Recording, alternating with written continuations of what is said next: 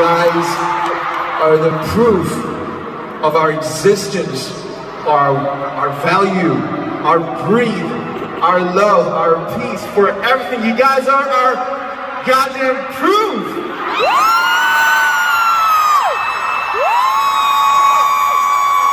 So we were the bullet, and you guys were our crew.